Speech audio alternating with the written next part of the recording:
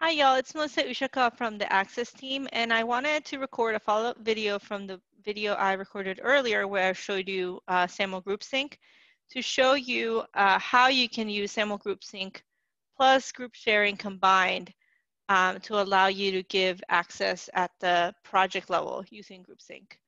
Um, so I'm going to go ahead and share my screen and uh, I'm going to use the same example that I used uh, earlier. And there's a couple of things that I'm going to point out as I go.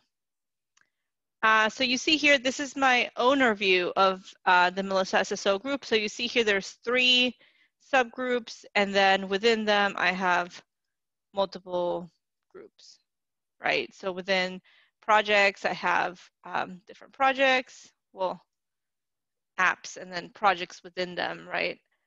Um, and um, this is what, what would be like your um, structure where you have your code.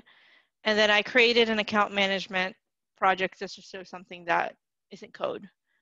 And then again, over here, I have um, the groups that I'm using for group links uh, for group sync. And you see I have security, product, and engineering, same as the example I showed earlier.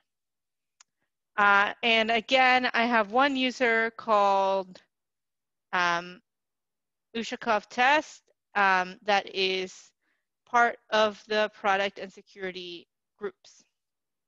So one thing that's important to point out uh, in this config that I have is that I've actually made the default membership uh, minimal access.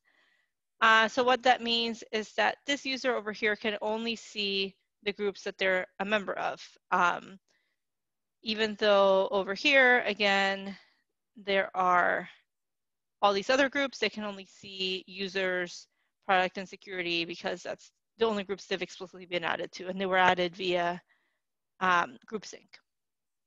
So now, um, if I want, basically this member, this person's a member of the security team, and I want the security team to have uh, specific access to, like, say, app one as owner and like app two as uh, a guest, right? What I have to do is I go over here to app one. And I'll actually show you two examples, one at the group level, one at the project level. And I invite group, and I'm gonna invite group Melissa, SSO, automotive stress, uh, users, security, and they're going to be a maintainer. So now anybody who's in the security group will be a maintainer on any projects under this app. So it's taking a little while. Uh, so again, here I'm, I'm logged in with that test user. And now you see under projects, I see app one, and I have access to Project Line Project 2. One area of opportunity here that there's actually an open issue for is just showing the pill here um, that has the access level. So that's something that we're working on. I'll put an issue in the um, video description that shows that. So that's at the group level. Now, if I don't want to have access to everything, but let's say here for uh, app two, what did I add? Yes, I added up one.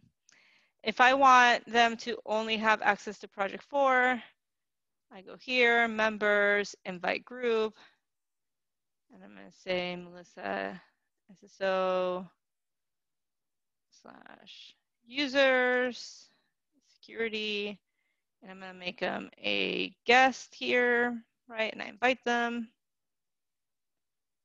So now if I go over here and I refresh, you'll see that they have access to project four and project one, project two. So basically you can get as detailed as you need to using one single group, which is the security group, and inviting that one group into the different groups and projects that you need um, them to have visibility into. And the advantage here is that um, you won't normally have just one person that security uh, group. It'll be you know, all the people, all the members of the security team, and you can easily, at mass, give them access to whatever they need to um, without having to do it on a project by project basis.